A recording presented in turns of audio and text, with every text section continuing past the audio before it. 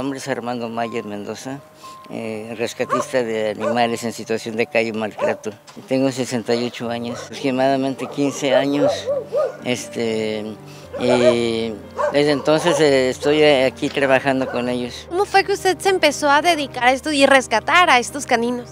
Bueno, mi primera experiencia fue cuando trabajaba en una empresa donde eh, habíamos rescatado a una perrita que estuvo a punto de ser atropellada en la vía rápida.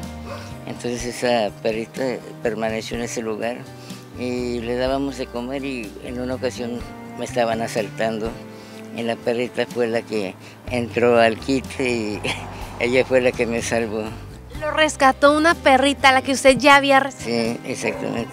Le regresó el favor. Sí, de allí este nació mi amor por los animales y pues fue como eh, me dediqué a ellos. El señor Armando Maya Mendoza hoy necesita de la ayuda de todos, pues debido a su edad no cuenta con la fuerza suficiente para volver a levantar su hogar y el de los 52 caninos a los que ha rescatado.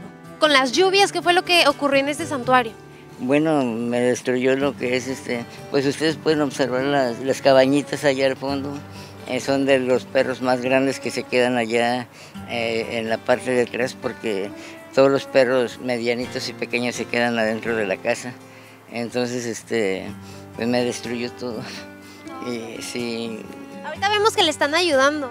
Sí, este, yo debo pagar para, para que me ayuden. Las 24 horas aquí estoy. No salgo ya, este, yo ya no estoy en posibilidades de salir. Este, ¿Alguna condición? Sí, yo de hecho deambulo con bastón este, porque se me cayó una, una pared de cemento aquí mismo y este, me lastimó la columna y las piernas. Y, de hecho, ahorita ando buscando un carrito para válido porque no puedo ir a la iglesia porque ya no camino de aquí a dos cuadras porque ya, ya no puedo. Los 52 perros que viven en su albergue improvisado están listos para ser adoptados, contó. Y de hecho todos están en adopción, solamente eh, no he tenido éxito en los grandes porque este, ya son muy viejitos, están desparasitados, están vacunados, están esterilizados, este, y pues yo no pido nada a cambio, es solamente que eh, te den referencias de dónde van a estar los animalitos. Que estén bien cuidados. Que estén bien cuidados, ¿Algún de cuenta, número de teléfono, a dónde las personas se pueden comunicar con usted para hacer donaciones y su ubicación?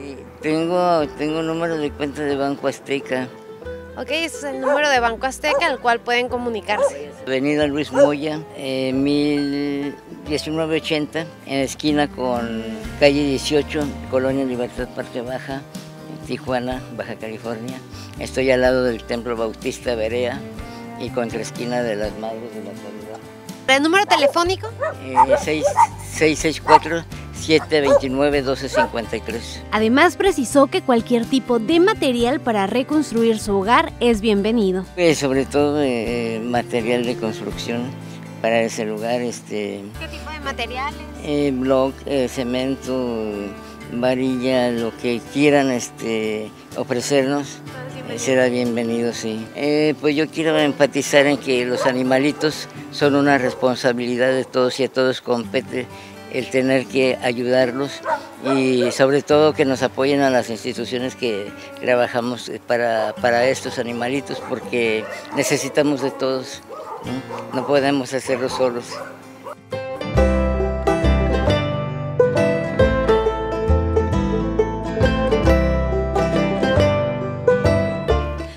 Ya lo escuchaste. Si deseas ayudar, no dudes en comunicarte.